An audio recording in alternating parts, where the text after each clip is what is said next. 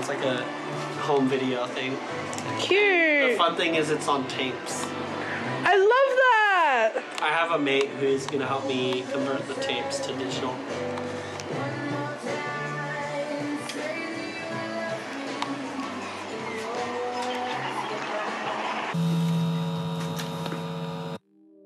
My name is Hudson Reed. I'm 22 and I'm a photographer, creative person who makes documentaries even though they never took a film course in their life.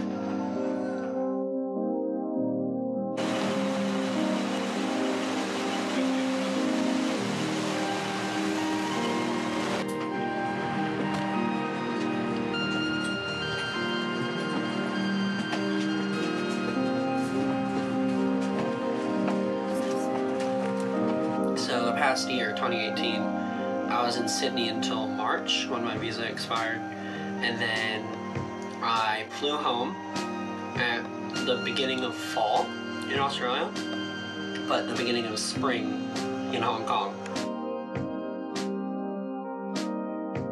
What that did was um, it gave me, I went from summer to summer. And then I was home for six months when I, I was like, oh yeah, I'll be back in a month or something. Six months later, I come back to Sydney and it's summer. The year of eternal summer is basically the culmination of that year um, being three summers instead of winter, summer, spring, fall. It was just summer. So it just felt like felt like a long time. I hate it. I, I can't do summer.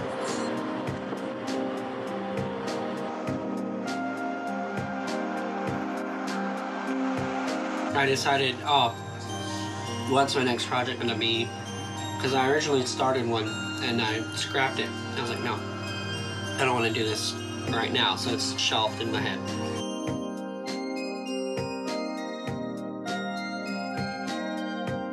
What can I do next? How can I challenge myself? And I was like, what's this year been like?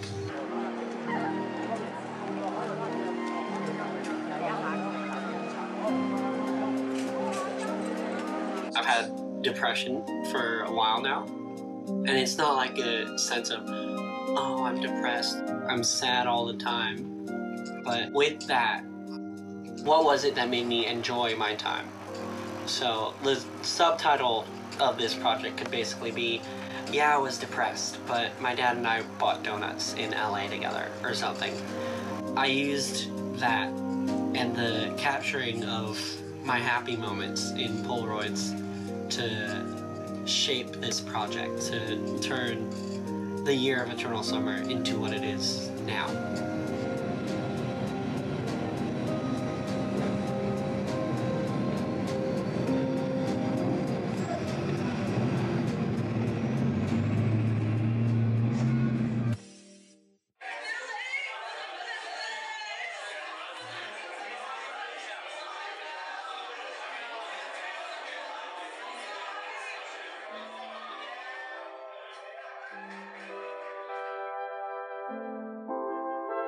I started the year with an art show in February, February 7th, 2018.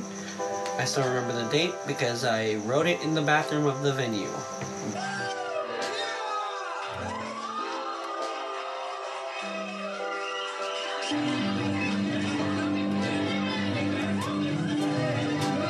That was crazy. And throughout the year, I was like, oh, I had an art show. And then people were like, when was it? I was like, oh, it's this year. It happened in February. And now I can say it happened a year ago. But that was definitely one of the best points of my life that year. I've never felt successful like that, honestly. Um, I've never felt as happy and proud of myself. Because it's not bad to feel proud of yourself.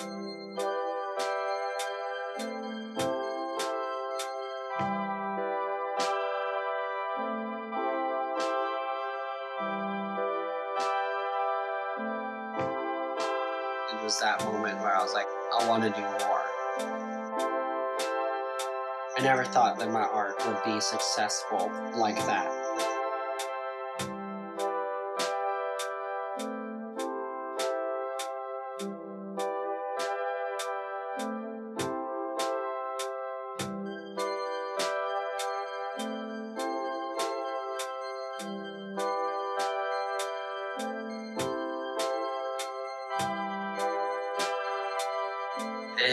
Then I had to leave Australia.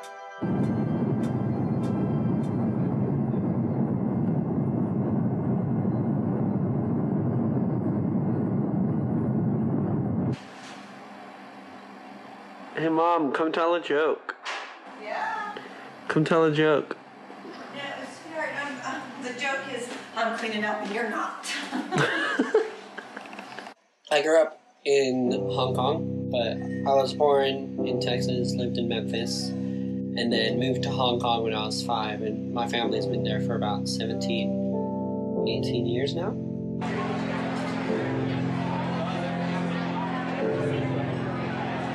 So that's home to me. Great city, great place.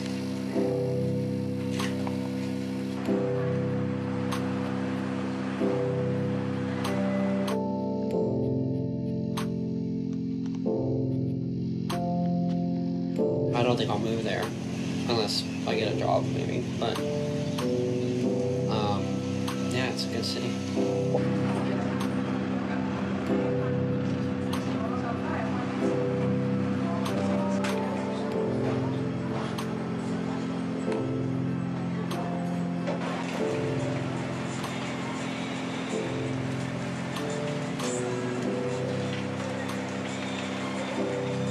March of that year, my visa expired, so I was on a plane out back home to Hong Kong for a bit to figure out if I was going to go back to uni or if I was going to go back and work for a year and then go back to uni or if I was just going to stay in Hong Kong. I didn't want to stay in Hong Kong. It wasn't right for me there. I knew from the first night I was there, I was like, it's good to be home and see family, but I can't be here long. Mentally, emotionally, physically, I cannot be here because it is not my place to be at this time. Because I love my family, I love my church, I love my community. It just didn't sit right with me being there. In Sydney, I have been more my own, whereas back home, it's like what my parents have built for me, as in we had a family dinner once and you came over, Next to you. Here, everything I've built is my own. Friends, experience, connections, everything. I built it all myself. I'm fully planted here. I'm not just here for a bit and then heading out. I know so many people who do that and just leave and go plant themselves somewhere else, and that's amazing. But for me, I'm very invested in Sydney. I'm very locally grown.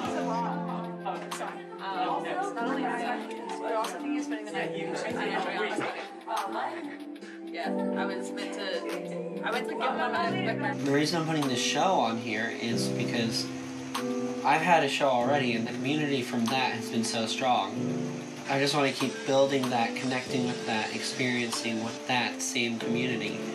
And this will bring together a whole set of community that I never thought possible.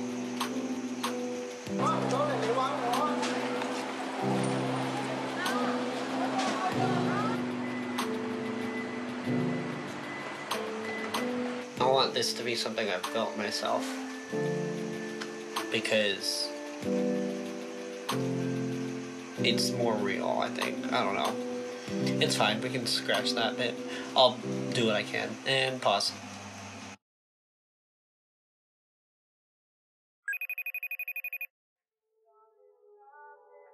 No, no, no. Did not. Um, no, but the concert was good. The um, that's kind. would you say that's his most famous or iconic song? Yeah. I um, my two favorites he did not play, so I was a little peeved. Daughters. Uh, my stupid mouth. My stupid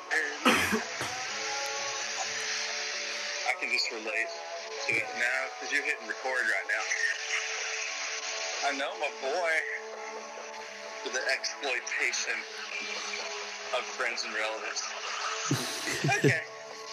I'm at the meeting of prayer right now, so I should uh, let you go, boy. Have a good Wednesday. All right, it's good. Good. I'm glad I got you on the video chat because your ceiling is looking awesome.